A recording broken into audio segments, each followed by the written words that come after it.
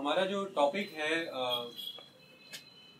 Economic geography का, वो है वर्ल्ड एग्रीकल्चर टाइप्स ठीक है? और वर्ल्ड एग्रीकल्चर टाइप्स का ये जो टॉपिक है, इसमें हम फिर से वही अपनी स्ट्रेटेजी अपनाएँगे। हम पहले इससे रिलेटेड सारे टॉपिक एनसीआरटी के कवर कर देंगे और फिर ये टॉपिक कवर कर देंगे। तो उससे क्या होता है कि आपकी ग्राउंड प्रिपेयर हो जाती है। तो agriculture land use and primary activities ये तीन कंबाइंड टॉपिक ही चलेंगे आज, ठीक है? ये तीन ये सारे टर्म्स आपको पढ़ने में आएँगे जब आप इकोनॉमिक ज्योग्राफी से वो चैप्टर पढ़ेंगे। बिकॉज़ ये टॉपिक पार्ट तो प्राइमरी एक्टिविटी का ही है ना? तो प्राइमरी एक्टिविटीज़ इंडेक्स में प्राइमरी एक्टिविटीज़ मेंशनड है।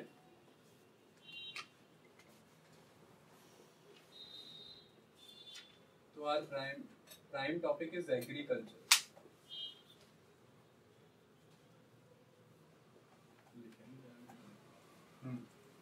start करते हैं नाम से, agriculture.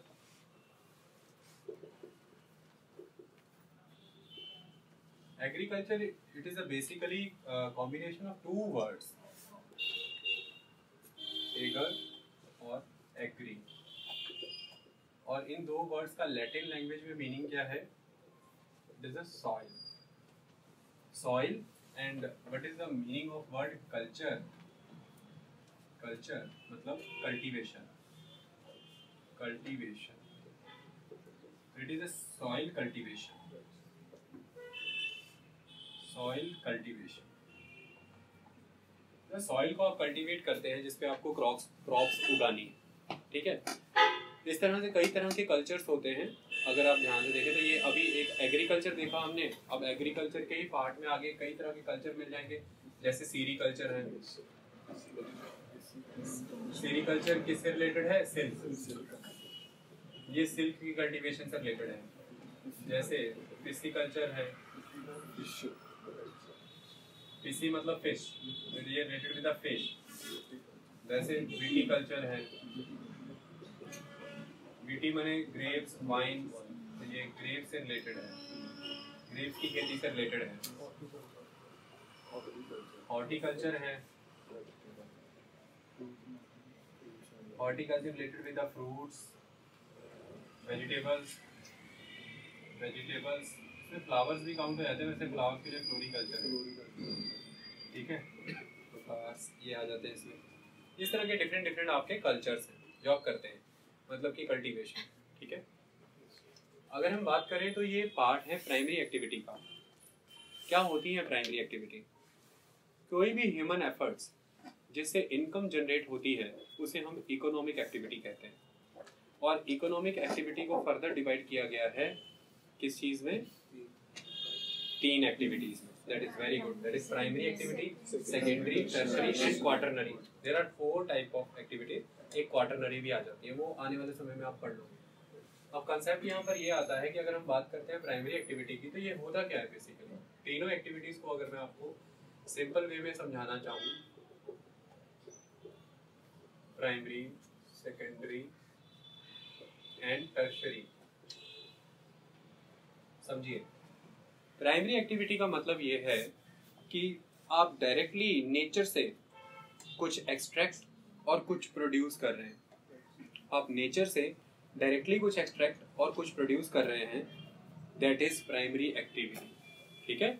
यू आर एक्सट्रैक्टिंग और you are producing from the natural resources provided by the nature that is primary activity done yes sir जो भी आपने नेचर से एक्सट्रैक्ट किया या प्रोड्यूस किया, जब आप उसको प्रोसेस करेंगे that is secondary activity nature से चीज़ें एक्सट्रैक्ट करने में और प्रोड्यूस करने में, फिर फर्दर उन्हें प्रोसेस करने में, आपको बहुत बड़े पैमाने पर एक सपोर्ट सिस्टम चाहिए.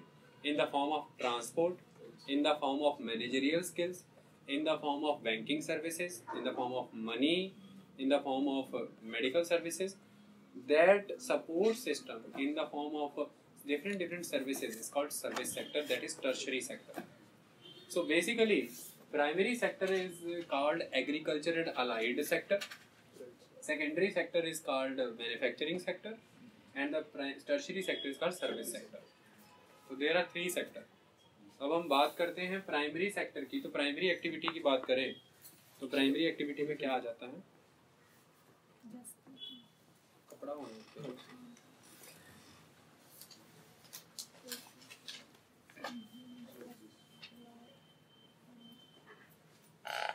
प्राइमरी एक्टिविटी में क्या आ जाता है?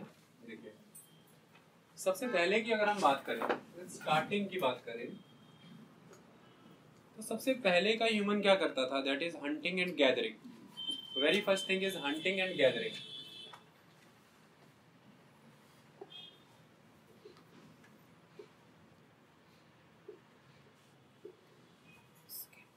hunting and gathering वैसे अगर आप ध्यान से देखें तो gathering was the first thing gathering पहले होता है, क्योंकि बाद में जब स्टोन से वेपन बनाने सीखे, तभी हंटिंग स्टार्ट हो गई उसके पहले गैदरिंग होता था। मतलब आप हैरान हो जाएँगे क्या जब अगर आप फॉरेस्ट में जाते हैं तो बहुत सारी ऐसी चीज़ें हैं जो एडिबल नहीं है। आप उन्हें नहीं खा सकते। उस टाइम आज आप वही खाते हैं ना, जो आपको बता दिया गया है, पहले से। जिन्होंने फ़र्स्ट टाइम इन चीज़ों के बारे में आइडेंटिफाई किया होगा, उन्होंने कैसे किया होगा। तो इसमें भी बहुत स्किल्स लगते थे कि कौन सी रूट्स खाई जा सकती हैं, कौन से स्टेम्स खाए जा सकते हैं।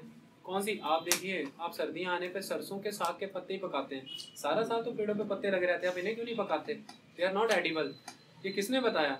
इन अर्ली मैन ने आदि मानव ने ये आदि मानव था जिसने जंगल में घूम घूम के, घूम घूम के चीज़ों को ट्राई कर करके ये आइडेंटिफाई किया कि ये एडिबल है और ये एडिबल नहीं है। इनको हम कहते हैं वाइल्ड स्पीसेस जो खुद होती हैं। फिर आगे आने वाले समय में यही आदि मानव जब किसी एरिया में जाके सेटल हुआ, उसने इसी वाइल्ड स्पीसीज को जब वहाँ पर एक सेटल्ड एटमोसफेयर में अपने अकॉर्डिंग मैनिपुलेट करके कल्टीवेट करना शुरू किया तो उसको हम कहते हैं क्रॉप्स तो हर क्रॉप की एक वाइल्ड स्पीस जंगलों में है। जिसे हम जीन पूल कहते हैं जीन बैंक जिसे संभालना बहुत ज़रूरी है। अगर जंगल खत्म तो हमारी फ़सलें भी खेतों से खत्म हो जाएँगी। मतलब यू कैन नॉट एक्सपेक्ट कि आप फ़सलें खेतों में उगाते रहेंगे बिना जंगलों के। है बात समझ में? तो बहुत बड़े पैमाने पर ये लोग जैसे हम कहते हैं कंद मूल खाना मैंने रूट्स खाना फ्रूट्स खाना पत्ते खाना स्टेम्स कई चीज़ों के स्टेम्स भी खाए जाते हैं। बार्क बार्क भी खाए जाते हैं कई सारी चीज़ों के। इन सब चीज़ों को खाने का काम करते हैं। आने वाले समय में फिर इनको स्टोन्स से वेपन बनाने का आर्ट पता चला और इन्होंने बहुत सारे तरह के स्टोन से वेपन बना करके फिर शिकार करना शुरू किया और हंटिंग करनी शुरू की। तो हंटिंग के थ्रू भी ये अपना बहुत बड़े पैमाने पर जीवन यापन करते थे। अब होता क्या था? ये बहुत ही पुरानी एक्टिविटीज़ हैं। आज की डेट में ये एक्टिविटीज़ उस लेवल पर नहीं होती हैं, लेकिन फिर भी होती हैं। आज भी होती हैं। आज चूँकि बहुत बड़े पैमाने पर वर्ल्ड लेवल पर हंटिंग बैन कर दी गई है इस वजह से आज जो प्रिमिटिव हंटर कम्युनिटीज़ थी, जो हंटिंग के थ्रू अपनी लाइफ बिताती थी, आज उनके पास वो स्कोप नहीं है कि वो ये चीज़ कर सके। लेकिन अल्टीमेट आस्पेक्ट इज़ कि जब ह्यूमन सिविलाइजेशन पूरी तरह से टिकी ही हंटिंग पे हुई थी, तब एनिमल एक्सटिंक्ट क्यों नहीं हुए? आज इतने बड़े पैमाने पर एनिमल्स एक्सटिंक्ट हो गए एंडेंजर्ड हैं। उसका रीज़न जबकि आज की डेट में ह्यूमन जो है, वो एनिमल पर डिपेंडेंट ही नहीं है मतलब वो पूरी तरह से हंटिंग पे नहीं डिपेंडेंट तब की जो कम्युनिटी थी हंटिंग पे डिपेंडेंट थी। तो रीज़न इज़ कि उनके वेपन्स इतने स्टेल्थ इतने स्पेसिफिक और इतने ज़बरदस्त नहीं होते थे कि वो इतनी फ्रीक्वेंटली शिकार कर पाए। आज की डेट में आपके पास सस्टेन गन है या आपके पास गन है, आप विद इन अ मिनट आप थाउजेंड्स ऑफ़ एनिमल्स को ख़त्म कर सकते हो एरोप्लेन से या किसी चीज़ से भी। जो वर्ल्ड वॉर लगी हैं दो, इन्होंने इतने, दो वर्ल्ड वॉर को तो छोड़ दो, जो कोल्ड वॉर लगी थी इतने सालों तक इन्होंने इतने बड़े पैमाने पर वाइल्ड लाइफ को डिस्ट्रॉय करा है फॉरेस्ट को बर्बाद करा है कि nobody can imagine so बहुत बड़ा रीज़न एक्सटिंक्शन का ये वॉर्स भी हैं। उस जमाने पर आपको केवल शिकार के लिए चाहिए होता था। जानवर शिकार करने के वेपन भी आपके पास नॉर्मल थे। सुबह निकलते थे तो शाम तक एक जानवर शिकार करके सारे लाते होते थे और उसको पका के खा देते थे। लेकिन बाद में जब कॉलोनलिज्म का दौर आया ब्रिटिशर्स का रूल हुआ, उसके बाद शिकार को एक खेल का ज़रिया बना लिया गया। और एक एक दिन में होड़ लगी होती थी राजा महाराजाओं के बीच में कि कौन किससे ज़्यादा शिकार करके लाता है। तो कोई दस शेर मार के आता था, कोई पता नहीं कितने शेर मार के आता था। शेर मार मार के शेर ही ख़त्म कर दीजिए। लेकिन अगर आज आपसे पूछे कि हंटिंग की जाती है तो यस हंटिंग आज भी की जाती है। जो प्रिमिटिव ट्राइबल पॉकेट्स हैं, वहाँ पर उनका जो एरिया है, जो रेस्ट्रिक्टेड है बाकी लोगों के लिए, उन्हें वहाँ पर अनुमति है अपनी इच्छा के अनुसार शिकार करने की, अपनी उपजीविका के पर्पज से अपनी लाइवलीहुड के पर्पज से लेकिन ये जो शिकार होते हैं, ये इस लेवल पर होते हैं कि इनको आप मार्केटेबल कमोडिटी नहीं बना पाते। आप इसको बेच नहीं पाते हैं, आप इससे सिर्फ़ अपना गुजारा ही कर पाते हैं बड़ी मुश्किल से। तो इस वजह से गवर्नमेंट इन चीज़ों को अलाउ करती है। दूसरा, आज भी काफ़ी बड़े पैमाने पर गैदरिंग का काम होता है। आज टेंडू लीव्स गैदर किए जाते हैं, महुआ के फल गैदर किए जाते हैं। आज आप देखेंगे तो बहुत सारी मेडिसिनल हर्ब्स जो हैं, उनको गैदर किया जाता है जंगलों से। तो आज भी ये लोग बहुत बड़े पैमाने पर चीज़ों को गैदर करते हैं, अपने लायक रख के, अपना गुजारा करके, बाकी को मार्केटेबल कम्युनिटी के तौर पर सेल करते हैं। तो hunting and gathering is a part of primary activity because you are extracting natural resources without doing anything आप कुछ नहीं लगा रहे हैं, आप सिर्फ़ एक्सट्रैक्ट कर रहे हैं चीज़ों को। आज भी अगर आप जाएँगे नॉर्थ ईस्टर्न इंडिया में आपको बहुत बड़े मेघालय में जाइए, मिजोरम में जाइए, आपको बहुत बड़े पैमाने पर औरतें वहाँ पर नज़र आ जाएँगी, संतरे, एप्रिकॉट, इस तरह की चीज़ें गैदर करती हुई। तो आज भी ये कंसेप्ट चलता है, चीज़ों को गैदर किया जाता है और बेचा जाता है। आप अगर कभी हिमाचल गए हो तो आप एक चीज़ ध्यान से देखेंगे, मार्च अप्रैल हाँ अप्रैल, मई के महीने में आप हिमाचल जाइए, सड़कों के किनारे औरतें टोकरी में आम लेके बैठी रहती हैं। तो हिमाचल की सड़कों के किनारे किनारे आम लगे रहते हैं, अम्बियाँ। तो वो अम्बियाँ वहाँ से वो किसी की मलकियत नहीं है, वो पेड़। वो सरकारी है। तो वो औरतें वहाँ से अम्बियाँ क्योंकि ट्राइबल कम्युनिटी है हिमाचल में, वो अम्बियाँ वहाँ से तोड़ के टोकरा लेके बैठी रहती ना सड़कों किनारे दैट इज़ गैदरिंग तो आज भी गैदरिंग का काम चल रहा है, लेकिन अब धीरे धीरे धीरे धीरे फिनिश होता चला जा रहा है, क्योंकि बहुत बड़े पैमाने पर फॉरेस्ट रिस्ट्रिक्टेड कर दिए गए हैं, बहुत हाई लेवल पर फॉरेस्ट प्राइवेटाइज कर दिए गए यूरोप में तो फॉरेस्ट ही प्राइवेटाइज है। हमारे देश में ही है जो फॉरेस्ट गवर्नमेंट के हैं। अदरवाइज़ प्राइवेटाइजेशन कर दिया गया है। सड़क के किनारे जो भी चीज़ें हैं, वो कम्युनिटी लैंड डिक्लेयर करके जो भी फॉरेस्ट्री वहाँ पर की गई है, वो कम्युनिटी के नाम पर है तो कम्युनिटी अलाउ नहीं करती किसी को वहाँ से कुछ चुनना या बिनना क्योंकि उस पर सारे गाँव का हक होता है। एक किसी इंडिविजुअल को कोई हक नहीं होता। इन सारे रीजन की वजह से ये सारी चीज़ें कुछ पर्टिकुलर पॉकेट्स में रिस्ट्रिक्टेड हो गई हैं और बंद हो गई हैं। But hunting and gathering is a part of primary activity okay clear इसके बाद अगर हम बात करें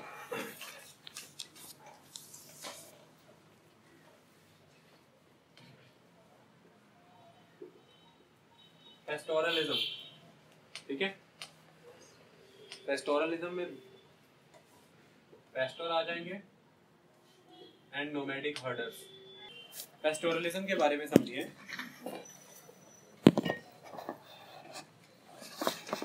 देखिए कोई भी रीजन अगर हम लॉजिकली सोचें, कोई भी वो रीजन जहाँ पर सॉइल एग्रीकल्चर के लायक नहीं है, पहली कंडीशन कि सॉइल वहाँ पर ऐसी नहीं है कि वहाँ पे एग्रीकल्चर किया जाए। दूसरा रेनफॉल अबंडेंट नहीं है रेनफॉल भी पर्याप्त मात्रा में नहीं है। तीसरा ग्रासलैंड्स बहुत एक्सटेंसिव अवेलेबल हैं। तो ऐसे में आप क्या करते हैं? नेचुरली आप जानवर पालते हैं, ठीक है? दो तरह के जानवर पाले जाते हैं। जो वुमेन जानवर पाले जाएँगे for the purpose of milk that is milch animal M I L C H milch animal और जो मेल जानवर पाले जाएँगे for the purpose of transportation that is draught animal तो दो तरह के एनिमल पाले जाएँगे milch animal and draught animals male and draught male milch female ऐसे ही होता है ना नंदी बैल हल चलाने के लिए। वो ड्रॉट एनिमल है और गाय दूध के लिए वो मिल्च एनिमल है।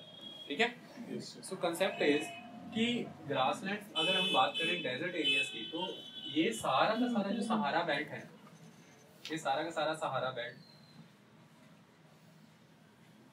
यहाँ से सहारा बेल्ट से स्टार्ट करके आप सीधा ये बेल्ट यहाँ तक लेके जाएँगे चाइना तक मंगोलिया तक। ये this belt this belt book में मिल जाएगी।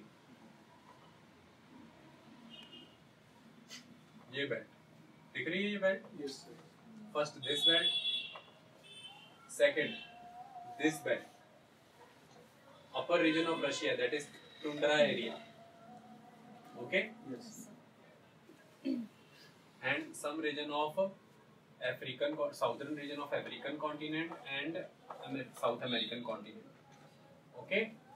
And Australian continent. ये रीजन्स हैं these are the famous regions जहाँ पर आपको पेस्टोरल्स मिल जाएँगे बहुत बड़े पैमाने पर ठीक है तो क्यों? क्योंकि यहाँ पर सॉइल उस लेवल पर एग्रीकल्चर के लिए कामयाब नहीं होती। यहाँ पर रेनफॉल उतना नहीं होता। यहाँ पर ग्रासलैंड्स बहुत ही एक्सटेंसिव होते हैं, जिसकी वजह से इनके लिए काफ़ी इजी हो जाता है एनिमल को रियर करना। और क्योंकि ग्रासलैंड अवेलेबल है तो वो उसी को खाएँगे। तो दैट इज़ द रीज़न कि यहाँ पर आपको पेस्टोरलिज्म मिलता है।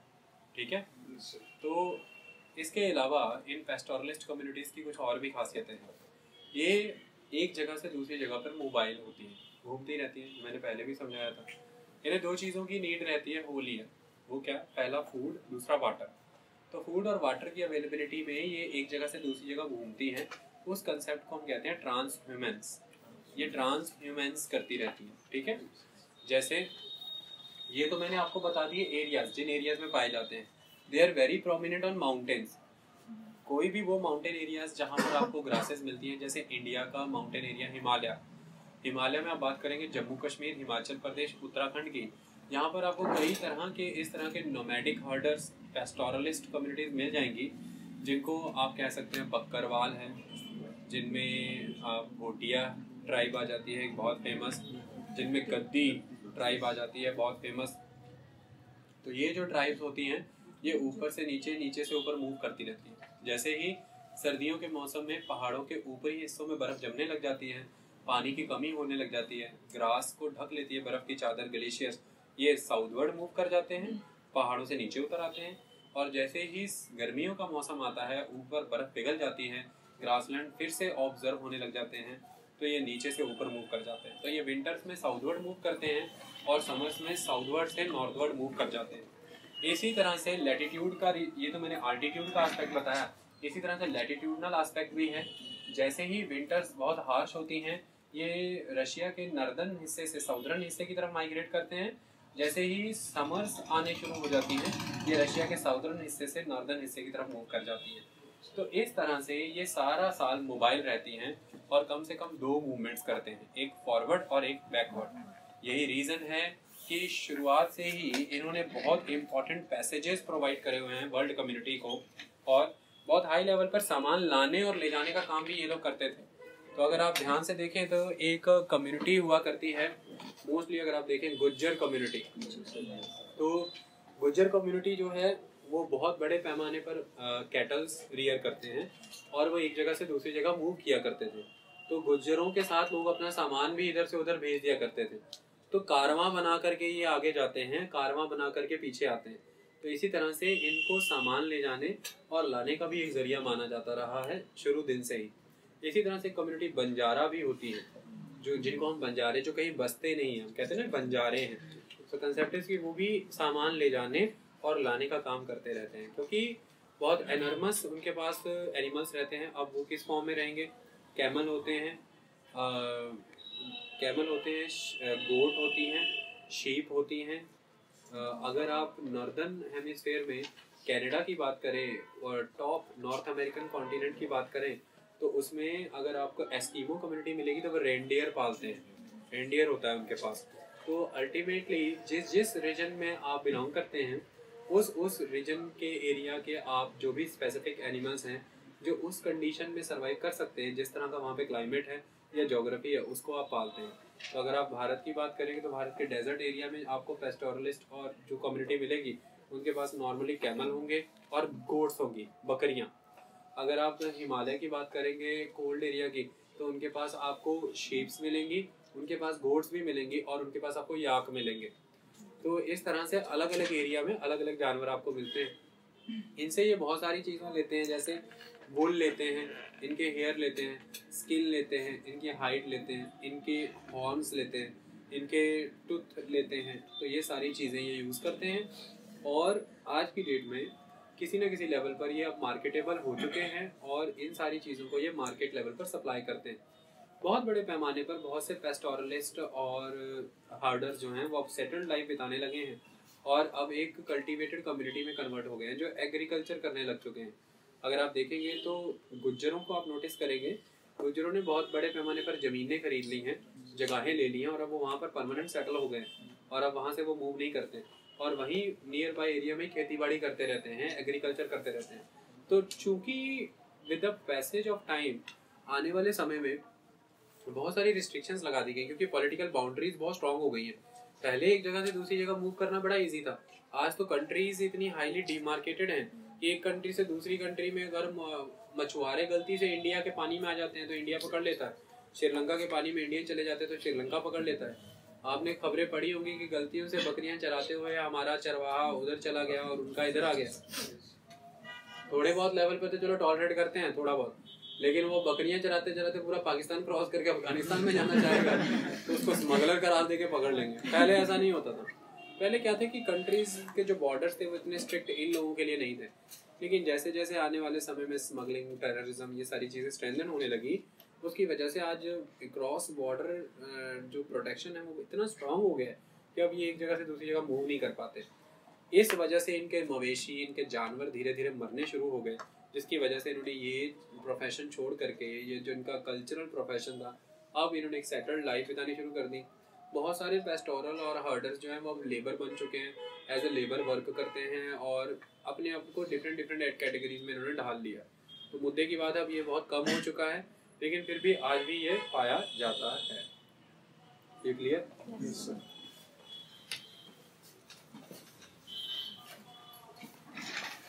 इसके बाद अगर हम बात करें तो आ जाता है एग्रीकल्चर अब एग्रीकल्चर में बहुत कुछ आएगा। एग्रीकल्चर दो तरह का होता है। सबसे पहले अगर आप देखें तो सबसिस्टेंस होता है। Subsistence and the second one is commercial देखिए सबसिस्टेंस एग्रीकल्चर की फर्दर दो ब्रांचेस हैं।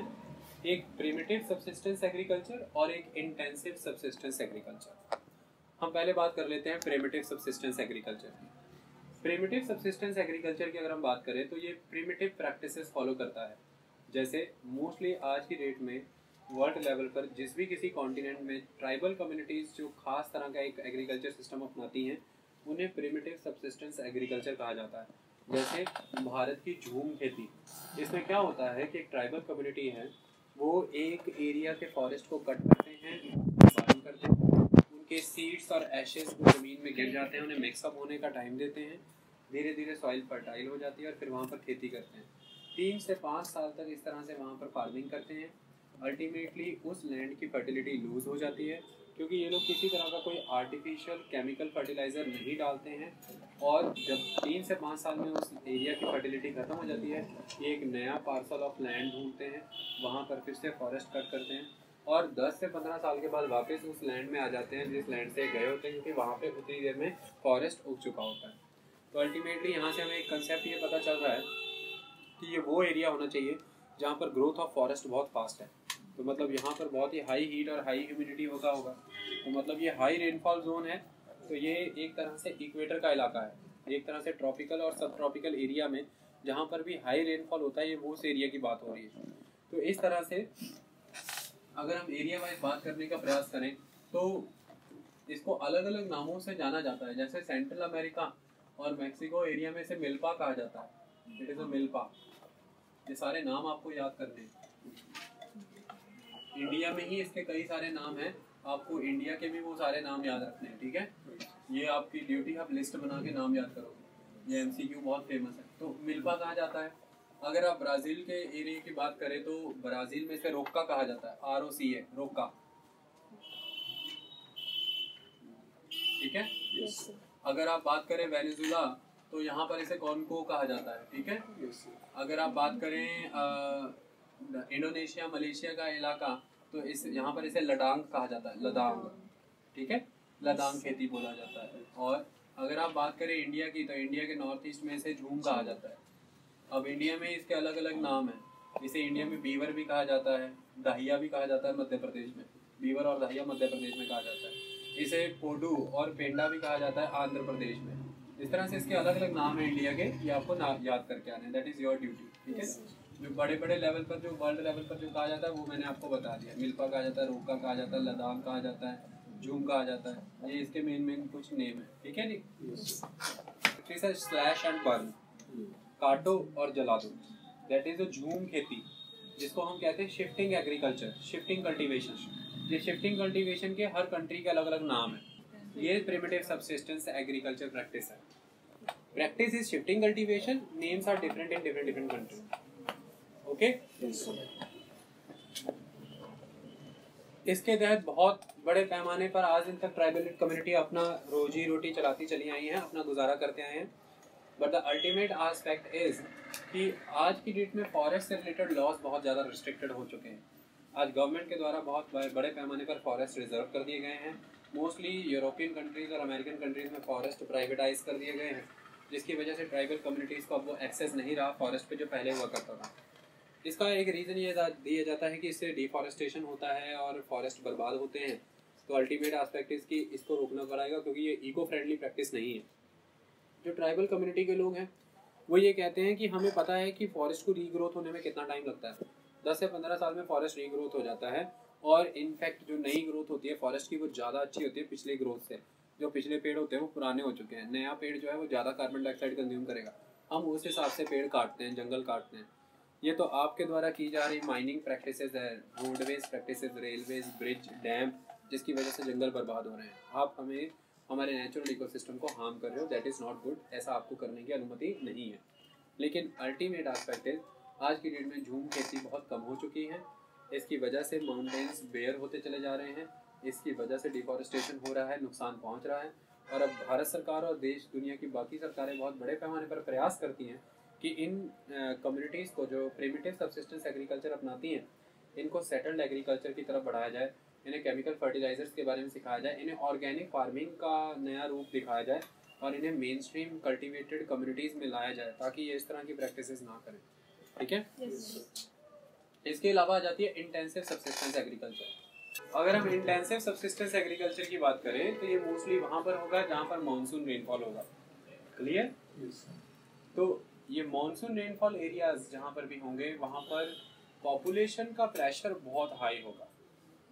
क्योंकि कंसंट्रेशन ऑफ़ पॉपुलेशन इतनी हाईवी होने की वजह से आपके पास पीस ऑफ़ लैंड तो कम होगा, लेकिन आप उसके ऊपर लेबर इतनी इंटेंसिव लगा देंगे, जिसका रीज़न है कि इसका नाम है इंटेंसिव एग्रीकल्चर ठीक है? अब लॉजिकली एक बात अगर हम सोचें कि हमारे पास एक क्लासरूम है, और इसमें हमने बहुत हैवी लेबर लगा करके कुछ प्रोड्यूस करा है। तो ये मान भी लेते हैं हम कि प्रोडक्शन पर लैंड तो हो जाता है, लेकिन प्रोडक्शन पर पर्सन तो बहुत ही कम हुआ है तो अल्टीमेट आस्पेक्ट इज़ कि आपने जितना प्रोड्यूस करा है, वो आपको शेयर करना। नेचुरली वो कितने लोगों में शेयर होना है। तो जब इतने लोगों में वो चीज़ शेयर हो जाएगी तो फिर वो मार्केटेबल बचेगी मार्केट लाइक बचेगी नहीं, वो तो फिर कंज्यूम ही हो जाएगी। तो ultimately it is a subsistence in that way कि आप जो भी उगाते हैं, आप खुद ही इस्तेमाल कर जाते हैं।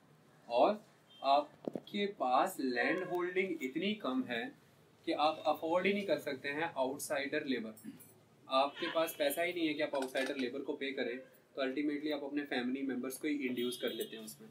तो in that way it is also called subsistence कि आप अपने परिवारजनों के साथ मिलकर के खेती करते हैं.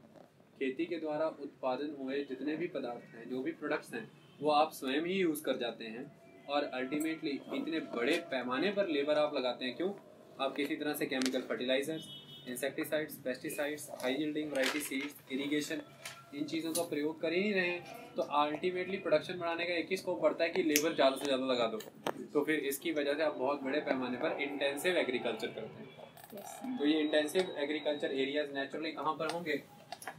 जहाँ पर भी मानसून रेनफॉल और हैवी रेनफॉल रहता है that central American region that equatorial African region और ये monsoon region of Africa and India का जितना भी सारा मानसून बेल्ट है ठीक है? तो इन एरियाज़ में ये इंटेंसिव सब्सिस्टेंस एग्रीकल्चर होता है तो Asia south east Asia east Asia central America and eastern Africa और सेंट्रल अमेरिका इन एरियाज़ में ये सब्सटेंसिव इंटेंसिव सब्सिस्टेंस एग्रीकल्चर होता है. आई बात समझ में? इसके बाद अगर हम बात करें तो नेक्स्ट आ जाता है कमर्शियल एग्रीकल्चर कमर्शियल एग्रीकल्चर क्या होता है? ये वो एग्रीकल्चर होता है जिसके लिए आप एक्टिविटी तभी करते हैं जब आपको पता होता है कि जो भी क्रॉप आप उगा रहे हैं उसको आप सेल करना चाहते हैं। ये बेचने के पर्पज से उगाए जाते हैं ठीक है? इसमें खाने का पर्पज नहीं रहता। मतलब आप कमोडिटी सेल करके उसकी मनी फैच करोगे उस मनी से आप अपनी रिक्वायरमेंट्स पूरी करोगे। ऐसा नहीं है कि उस कम्युनिटी से आप अपनी रिक्वायरमेंट पूरी करेंगे। That's why it is a commercial because it is for the market ये बहुत बड़े पैमाने पर कहाँ पर किया जाता है? अगर आप देखें तो पूरा का पूरा जितना भी यूरोप है, ये यूरोप को अगर आप ध्यान से देखेंगे तो Europe is very much fit for the agriculture ठीक है? तो यूरोप का जो नॉर्थ वेस्टर्न यूरोप है, इस नॉर्थ वेस्टर्न यूरोप में बहुत बड़े पैमाने पर कमर्शियल एग्रीकल्चर होता है। अगर आप नॉर्दर्न अमेरिकन कॉन्टिनेंट की बात करें, उसमें से अगर आप यूनाइटेड स्टेट्स ऑफ़ अमेरिका की बात करें तो eastern central United States of America जो है, यहाँ पर कमर्शियल एग्रीकल्चर होता है। अगर आप इंडिया की बात करें तो इंडिया में जो गंगा का मैदान है इसमें भी नॉर्थ नॉर्थ वेस्टर्न जैसे पंजाब हरियाणा वेस्टर्न यूपी इन एरियाज़ में कमर्शियल एग्रीकल्चर बहुत बड़े पैमाने पर होता है।